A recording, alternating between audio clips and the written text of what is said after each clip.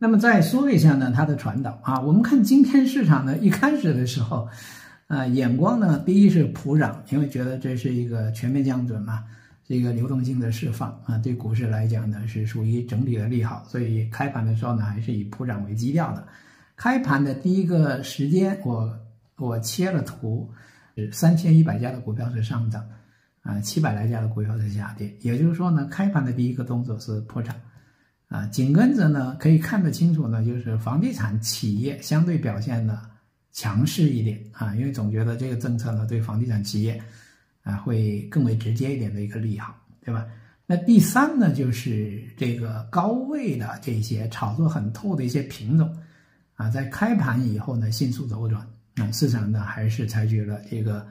啊高开低走啊，主动杀跌啊这样的一个做法啊，这是第三个。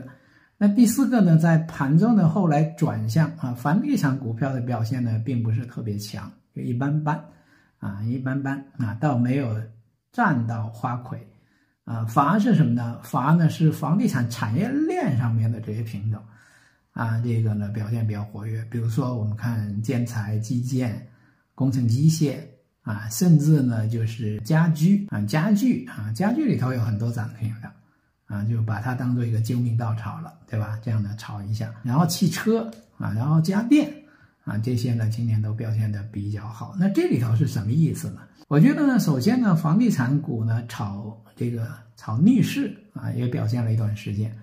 啊，在这个时候呢，市场呢稍微慎一点呢也很正常。但是呢，对于优秀的房地产呃这个股票来讲呢，它从走势的趋势来看。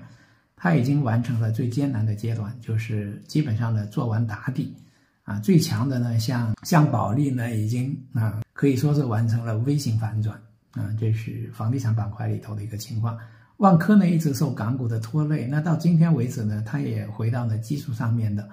初步的强势，啊，我觉得它在技术上面呢走出了第一个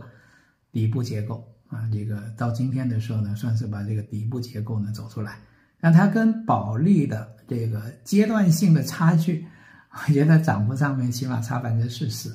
啊，这个差距呢落后也很大啊，所以呢不太需要呢担心呢它后面呢有很大的调整空间，而是呢去想它怎么样的完成这个逐渐的修复，啊，这是房地产这部分。呃，房地产产业链呢这个迅速的转暖，啊，迅速的转暖。我觉得这里头呢，寄托着市场美好的预期，就觉得房地产是不是又活蹦乱跳了啊？又可以起来了啊？又可能带动上下游了？就是这里头呢，是在宣泄一种乐观的判断。但我认为呢，房地产行业呢不会那么乐观，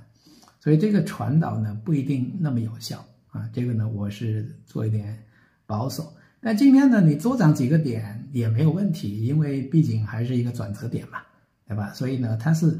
呃，寄托着市场的很乐观的一个判断，就是释放流动性，然后房地产呢这个政策利好，然后呢回避房地产股票去炒作呢它的上下游，这是以前的路子，啊，这叫路径依赖啊，熟悉的记忆又回来了，啊，这很正常，这很正常，但是，呃，历史呢不会简单重演啊，我觉得房地产的修复呢不会那么容易啊，那么快。啊，传递呢也不会那么有效，因为它是一个战斗减员啊，老百姓呢是被教育的一个过程，整体购买力呢未必有那么好啊，所以这个市场可以乐观一点，但是呢，我觉得这个传导呢未必那么有效啊，这是第一个呢判断上面的一个差异。那第二一个呢，就是这次政策出台之后呢，它不会是一个啊孤立的政策啊，它应该有组合拳啊，所以从这个角度去想。说政策呢，进一步呢推动一下，啊，对消费啊等等这些呢有呃定向的一些政策，这是可以啊这么去想的，对吧？所以呢，你也不能够说啊这些消费的转强，它是完全错误的啊。那这是呢第二部分啊，就是说其实还是可以啊包含有期待后续政策啊这样的一个预期，对吧？这是第二部分。